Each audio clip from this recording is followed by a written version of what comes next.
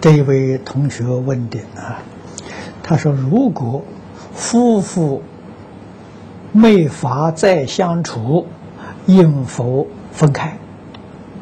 还是继续维系一个外表看来幸福完整的家，勉强忍耐，痛苦下去？”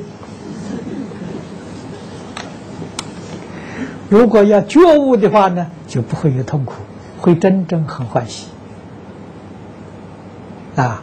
我觉得这夫妻两个人呢，不能相处，要把不能相处的原因找出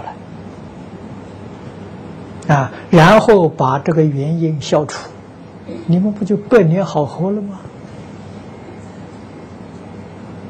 啊，一定要给社会大众做个好样子，这个很重要。啊纵然是学佛，就学佛不能相处离婚了，不是好现象。这个一定要知道啊！为什么不能相处呢？佛教给我们四摄法了，你要会用啊！四摄法就是人与人相处的方法。啊，现在在团体里面讲呢，公共关系法。啊，在我们一个人上讲，这就是交际应酬的方法。佛教的好啊！我们今天在这个世界，跟许许多多不同宗教往来，不同的族群往来，啊，我们都做得非常好，啊。用什么方法呢？就是四摄法了。啊，四摄法里面，你记住，布施、爱语、利行、同事，这是佛教我们这个。你要是夫妻两个会用这个四摄法，这是一对恩爱夫妻啊，百年好合，怎么会分离的呢？你不会用啊。四摄法里头的布施。我讲的很多啊，它跟六度的布施不一样啊。四摄法的布施多请客多送礼啊！你看你夫妻两个要常常请客，彼此送礼，那这不是好事情吗？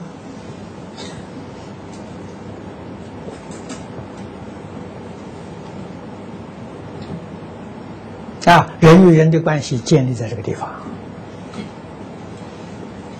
啊，爱与。真诚的关怀。啊，关怀对方啊，啊，力行。你所想的，你所做的，绝对是对对方有利益的。啊，对方所欢喜的。啊，最后一条是同事。啊，同事你说共同建立一个家庭啊，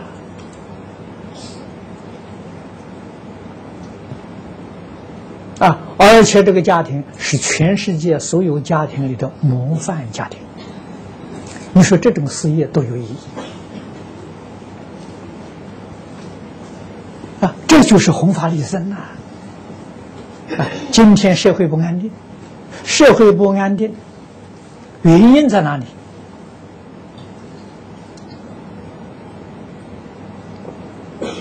我参加这些国际上的和平活动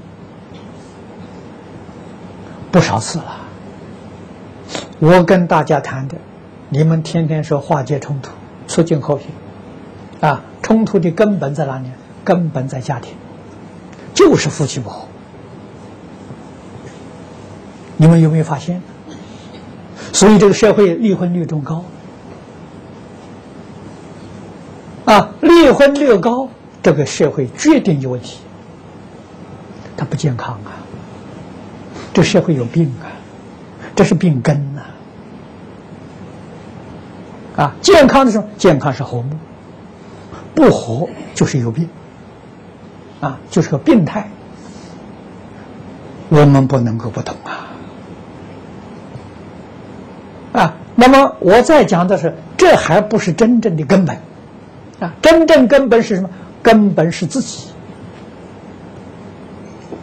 啊！我说自己的本性跟习性呢发生冲突了，哎，就是脚跟迷呀，你发生冲突了，这才是根本啊，真正的根本啊！所以我教人，我们要做和平工作，要化解冲突。要促进世界和从哪做起？从自己本身做起，从内心做起。啊，我不在内心里面，把对一切人事物对立化解。啊，我自己对一切人事物绝对不对立，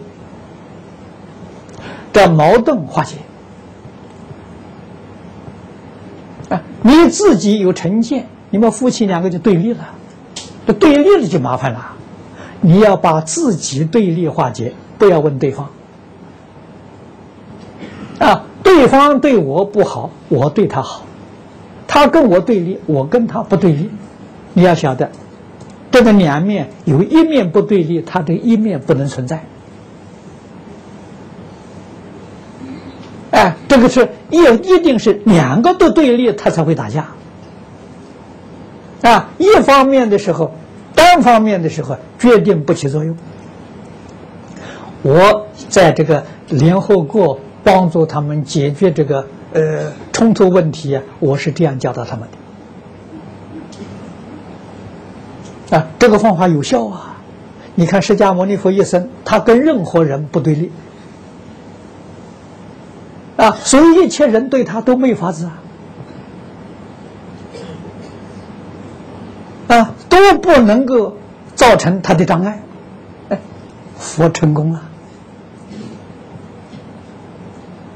啊，所以这根本就是说我跟一切人事物对立了，这个是真正麻烦的根源呐，啊，祸根呐，祸害之根呐，啊，不是别人造成社会大众祸害，那是另外的，这是自己堕阿鼻地狱的根呐。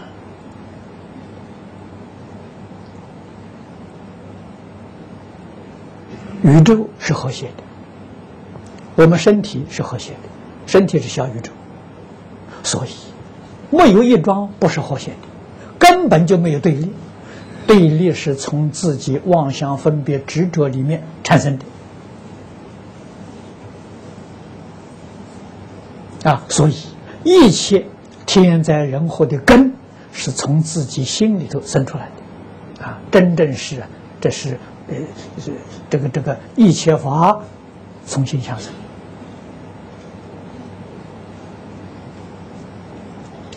啊！诸佛菩萨，极乐天堂也是从自己意念心生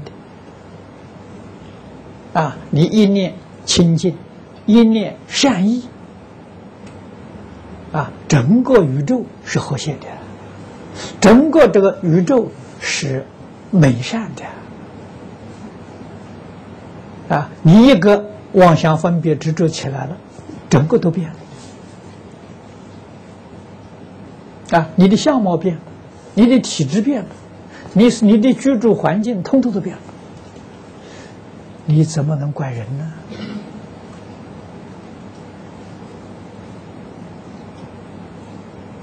啊，所以我总是劝人呢，夫妻要和和，啊，你要把这个不和的。呃，因素找出来，把它化解，啊，作为社会一个好的榜样，那是功德了，哎，那才叫真正学佛，啊，离婚错误了，啊，勉强走后过那种痛苦的日子，这也是错误的，啊，那个那个不是正确的，啊，一定要求。好现在时间到了。